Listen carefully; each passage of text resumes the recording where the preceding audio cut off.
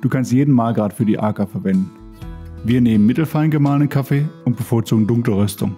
Das bleibt aber ganz dir und deinem Geschmack überlassen.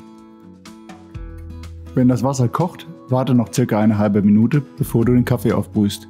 Dann nicht zu zaghaft aufgießen. Es kann etwas sprudeln. Eventuell musst du kurz warten, etwas rühren und dann weiter gießen. Es entsteht eine Art Kruste. Diese soll durch Umrühren aufgebrochen und das Ganze gut durchmischt werden. Der Filter bleibt in der Kanne, der Kaffee wird nicht bitter oder zu stark.